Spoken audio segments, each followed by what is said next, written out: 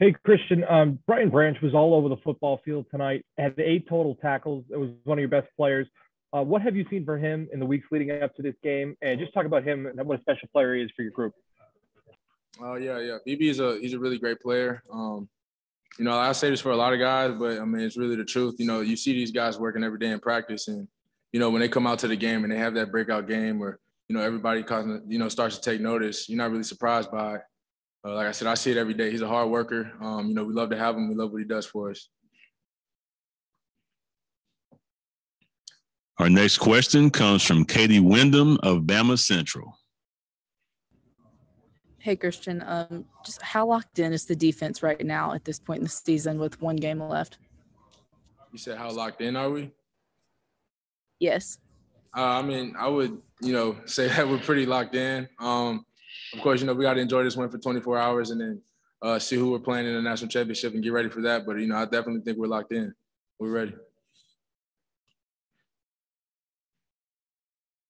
We're talking with Alabama student athlete Christian Harris. Please raise your hand to get your question into the queue. Our next question comes from John Talty. John, go ahead with your question, please. Going to be able to. Hey, Christian. Uh, it seemed like you guys were able to have a lot of success, you know, batting down passes and things kind of at the line of scrimmage. Was that something that you guys saw, you know, on film or felt confident that you'd be able to affect the quarterback that way today? I mean, I think, you know, it might have been a part of you know, coach's game plan. Um, you know, our, our, everybody up front did a really great job of, you know, trying to close the pocket and, uh, you know, with the low ball flight, keeping their hands up and batting the balls or short passes, trying to get out quick because, you know, the pressure's coming. So, um, you know, our, our, front seven definitely did a, a really great job with that today, batting the balls. Our next question comes from Bennett Durando of the Tuscaloosa News. Hey, Christian, I wanted to ask about some of the young guys. I know on defense, Kool Aid had a pretty good game, and then you know, on offense, Corey Brooks scores another big touchdown. How how huge is it to have those contributions from those guys? Uh, it's exciting, uh, you know, to see the young guys step up in big time moments like this. Um, you know, not everybody could do that. You know, be able to make those big time plays like C7 did with a touchdown, or you know, like play a whole game like Kool Aid did. You know, knowing that you know they're gonna come at you. So you know, those guys were ready. I've seen the, uh, the preparation and the amount of work that they put in throughout the week. So, um, you know, I'm really happy for them uh, for this game, and I'm excited to see what they do in the future. If you would talk about the overall play of the defense, able to hold Cincinnati to two of 12 on third downs, over three on fourth downs, really control the game, really from the start, keeping them out of the end zone. Yeah, um, I mean, our defense, you know, coach had a really good game plan for us. Uh, I think, you know, a main thing for us was just making sure we're all on the same page. Um, and you know, knowing that you know we're gonna come out there, you know, we had about I don't know how many practices, but you know, of course, we're gonna see some new stuff that we haven't seen before. But let your rules apply.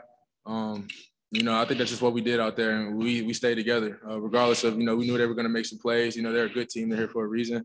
But it's all about how you respond to that, and you know, I think we responded pretty well the pride that the defense unit has coming off the the championship last year how much is that fuel getting back to this stage again in back-to-back years i mean i think you know the defense uh, with the confidence that we have i mean you know it really started developing over the second half of the season this year um, i mean you know the national championship was nice to have last year but you know we know this is a new team we got new players so uh, you know we have to set new goals and um, like i said i think we're doing pretty good with that right now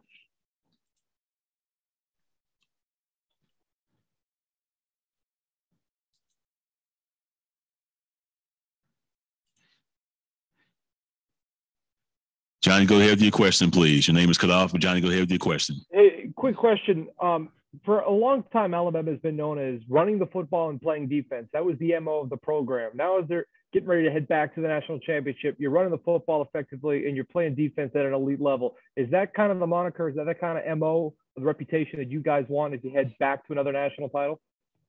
Uh, we just want to show that we're a physical team, um, that we're going to play four quarters. Um, and we know that each team that we play especially in moments like this, big games like this.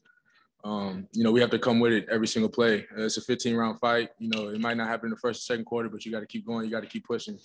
And uh, regardless if that's the, you know, the game plan that day for the offense is to focus on running the ball, and for us on the defense is to focus on them stopping, you know, the run. I mean, that's what it is. But I think it's really just executing whatever coach has for us. And that question was from Johnny Cogden, ABC 3340. We'll have a follow up now.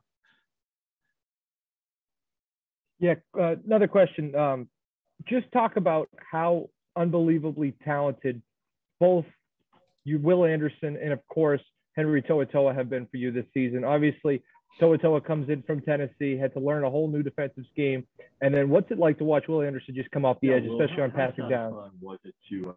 No, no, it's really exciting. Uh, I love it. You know, seeing these guys. Um, Will do what he did this year and last year. You know, a young guy coming in like that and, and having that confidence and you know showing that leadership on the team.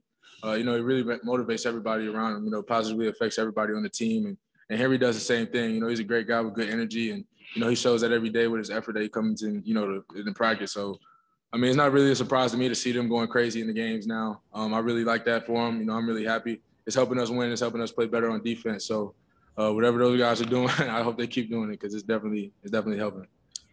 Our next question comes from Katie Windham of Bama Central. Christian, uh, Cincinnati got down in the red zone a couple times, but y'all never allowed them to get into the end zone. What kind of was the difference for the defense um, once Cincinnati would get down there? What she said no in the red zone. Yeah, what was the difference in not allowing them to get into the end zone, although they got in the red zone a couple times? Yeah, I mean, I think you know the having the mindset of bend don't break.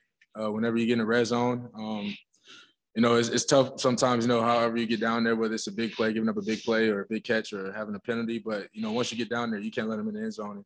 You know, that's something I think you know a lot of defenses pride themselves on it. We definitely do as well. Um, you know, it definitely gets tough down there, but that's something we work on. So uh, we really take pride in that.